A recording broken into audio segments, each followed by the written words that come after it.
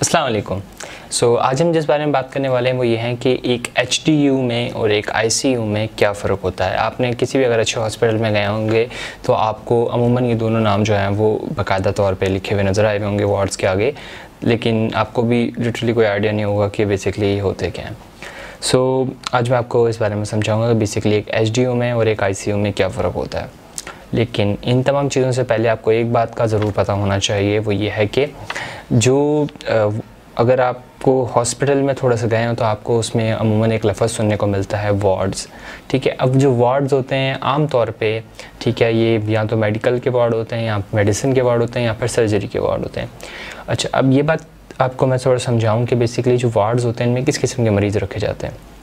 देखिए, वो मरीज़ जैसे कि जिनका ऑपरेशन हुआ था और वो ठीक हैं, उन्हें बिल्कुल इंटेंसिव केयर की ज़रूरत नहीं है, यानी कि उन्हें बिल्कुल अर्जेंट जो है ना फ़ौरी तौर पे डॉक्टर्स की ज़रूरत नहीं है और वो उनके जिसम जो है, वो काफ़ी हालत ख़तरे से बेहतर बाहर होती है, उन लोगों को आमतौर पे वार्ड्स के अंदर रखा जाता है। ठीक है जो वार्ड का थोड़ा सा सेटअप होता है, आप अगर किसी हॉस्पिटल में एडमिट हुए हों या आपका कोई अज़ीज़ हुआ हो तो आपको एक आइडिया होगा कि जो वार्ड्स होते हैं, उसमें एक ही बार एक स्पेशलिस्ट आके राउंड करता है और उसके बाद जो मेडिकल ऑफिसर्स होते हैं या फिर पी होते हैं, वो जो सुबह वो राउंड करके स्पेशलिस्ट ऑर्डर्स लिख के जाता है, वो throughout the day carry out करते हैं और आमतौर पर जो वार्ड में एडमिशन होता है, वो तकरीबन दो से तीन दिन तक ज़्यादा लोगों का होता है, उसके बाद वो ज़्यादातर लोग डिस्चार्ज हो जाते हैं।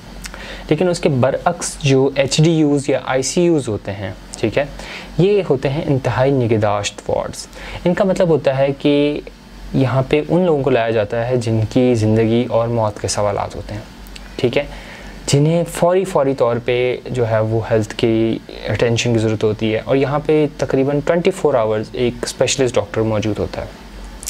इसके अलावा एच और आईसीयू दोनों के अंदर ही एमरजेंसी की दवाएँ भी मिलती हैं, ठीक है, जो कि किसी मरीज़ के लिए बहुत ज़्यादा ज़रूरी होती हैं, ठीक है, और वार्ड्स के अंदर आमतौर पर दवाइयाँ इस किस्म की नहीं होती जो इंटेंसिवली यानी कि एमरजेंसी के तौर पर इस्तेमाल हो सकें, ठीक है। इसके अलावा आपको पता है कि 24 घंटे जो है ना, वहाँ पे एक डॉक्टर मौजूद होता है, जो कि उनकी बाकायदा तौर पे देखभाल कर रहा होता है। ठीक है, और एच में आईसीयू दोनों के अंदर ही ना ऑक्सीजन के सिलेंडर्स आपको मिलते हैं। अगर आपको ऑक्सीजन सही नहीं जा रही होती तो ऑक्सीजन के मास्क अवेलेबल होते हैं।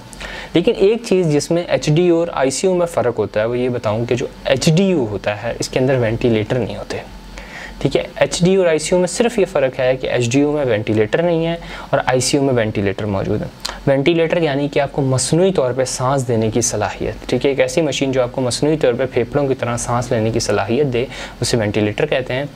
और जिस आईसीयू में वेंटिलेटर नहीं होता, उसे एचडीयू कहा जाता है। अगर एचडीयू में ला के आप वेंटिलेटर रख दें तो वो आई बन जाता है। तो यानी कि दोनों में सिर्फ़ एक चीज़ का फ़र्क है, वो है वेंटिलेटर की सपोर्ट का।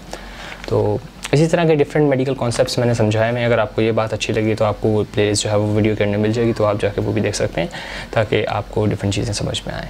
So for I hope that's all मैंने पूरा कॉन्सेप्ट समझा दिया है। This is Umar signing off अल्लाह हाफिज़।